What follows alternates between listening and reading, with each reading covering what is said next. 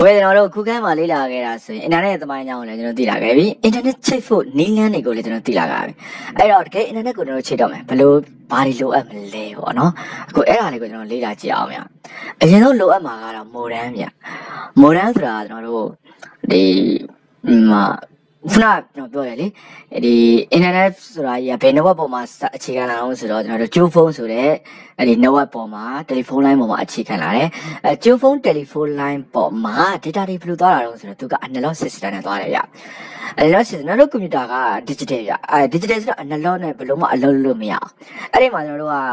အဲဒီ internet သုံးမဲ့ကွန်ပျူတာအတွက် ဒီ set လေးတစ်ခုလိုအပ်လာတယ်ပေါ့နော်အဲ့ဒါကဘာလဲဆိုတော့ဝင်လာတဲ့ analog signal တွေကိုကျွန်တော်တို့ကကွန်ပျူတာသုံးနိုင်ဖို့အတွက်အဲ digital signal ကိုပြောင်းရမယ်ကွန်ပျူတာကနေလည်းဒါ data ချက်လက်တွေကို internet ပေါ်ကနေတစ်ဆင့်ပြန်ပို့မှာပဲလေပြန်ပို့တဲ့အချိန်ကျတော့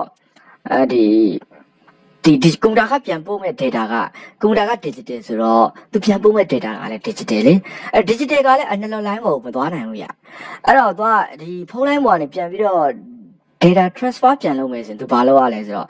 ဒီ digital signal တွေကို analog signal ပြန်ပြောင်းရတယ် analog signal ပြန်ပြောင်းရတယ်ဗောနော်အဲပြန်ပြောင်းတော့အဲ့မှာဒီ modem modem လေးဆိုတာဖြစ်လာတယ် modem ဆိုတာက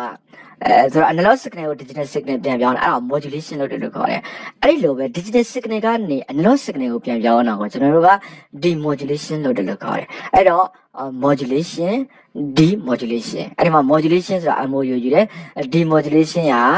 DM ကိုယူလိုက်တယ်အဲ့လိုနှစ်ခုပေါင်းလိုက်တဲ့အခါမှာ modern လို့ဖြစ်လာတယ်သူရဲ့ data ကဘာလဲဆိုတော့ analog signal ကို digital signal ပြောင်းတယ် digital signal ကို analog signal ပြောင်းတယ်ဖုန်းလိုင်းကနားလည်တဲ့ digital analog signal ကိုကွန်ပျူတာကနားလည်နိုင်တဲ့ digital signal ဖြစ်ပြန်ပြောင်းတယ်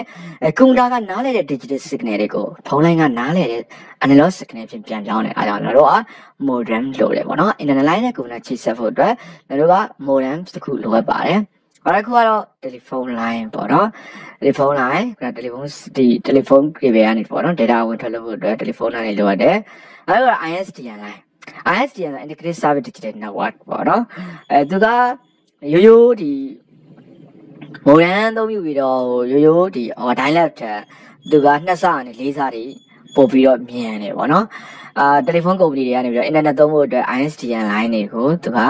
support လုပ်တရားတဲ့ fixed line တွေပေါ့နော် fixed line တွေပေါ့အဲ နောက်တစ်ခုကတော့ internet service provider ISP လို့ခေါ်ရတယ်။ဝါတော့မြန်မာနိုင်ငံမှာဆိုရင်တော့က internet star ဖို့ internet service တွေကိုပေးနေတာဆိုရင်တော့ရန်ကုန် teleport လို့ရှိမယ်။အဲ backend cyber tab လို့ရှိမယ်။နောက်ပိုင်းမှာလည်းကျွန်တော်တို့က MPT ပေါ့နော်။ MPT ဒီနိုင်ငံလုံး MPT ကနေပြီး ISP အနေနဲ့ internet service provider အနေနဲ့ဒီ internet ဝန်ဆောင်မှုကိုပေးတယ်ပေါ့နော်။အခုချိန်မှာဆိုရင်ဖွံ့ဖြိုးတိုးတက်လာတဲ့ democracy နည်းစနစ်များတဲ့အတူနိုင်ငံကဒီ ISP operator တွေဝင်လာတယ်ပေါ့နော်။ order တို့ဟို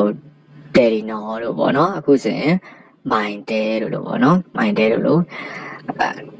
အများကြီးကုမ္ပဏီတွေဝင်လာတယ်အဲ့တော့ ISP တွေကနေအများကြီးဖြစ်သွားပြီပေါ့အဲ service တွေလည်းအပြိုင်ဆိုင်ပေးကြတယ်နောက် promotion တွေလည်းအများကြီးရောဆိုတော့ဈေးနည်းနည်းနဲ့ internet ကို speed နည်းနည်းနဲ့အဲတုံးလို့ရတယ်အားသာချက်တွေရှိရပေါ့နော်ဒီကျွန်တော်တို့အမှ internet ဆိုတာအမှန်ကတော့ တကဘာလုံးမှာဘယ်သူမှလည်းမပိုင်ဘူးပေါ့နော်ဒါပေမဲ့ internet infrastructure ကြီးဖြစ်ဖို့လည်းကျွန်တော်တို့ရင်းနှီးကြတဲ့ set တွေ cable တွေကုန်ကျစရိတ်တွေအများကြီးရှိတယ်ဘယ်သူမှမပိုင်တော့ညာလဲဒီမှာကျွန်တော်တို့ internet သုံးပြုဖို့အတွက်ကုန်ကျစရိတ်တွေကို ISP တွေကဒိုင်ငံပြီးတော့ကုန်ကျစရိတ်တွေကိုကောက်ပေးတယ်ပေါ့နော်အဲ့လိုမျိုးနဲ့ဒီ internet မှာရင်းနှီးမြှုပ်နှံသူတွေကငွေကြေးပြန်ပေးရတယ်ပေါ့နော် အဲ့တော့ internet သုံးဖို့အတွက်ကျွန်တော်တို့ဟိုမဖြစ်မနေတော့ ISP ဆိုတာတော့ရှိပါတယ် internet service provider ပါမြန်မာနိုင်ငံရဲ့လက်ရှိ ISP တွေကိုပြောပါစင်တော့ MPT, Ooredoo, Telenor,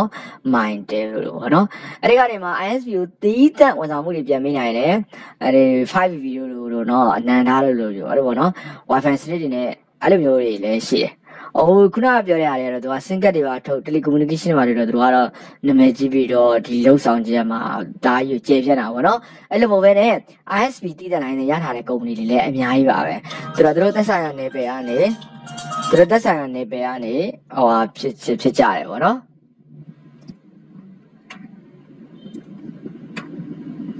โอเคနောက်ထပ်လိုအပ်တာကတော့ဘာလို့ဆိုတော့တို့ internet အသုံးပြုဖို့အတွက်ဆိုတော့တို့ဟို web browser လိုအပ်တယ်ဗောနော်အဲ့ဒီအတွက်ရှင်းရှင်းလင်းလင်းပြောရမယ်ဆိုတော့ internet အသုံးပြုဖို့အတွက်ဘာလဲတော့ဆိုတော့ကိုယ်မှာ internet အသုံးပြုလို့ရမယ်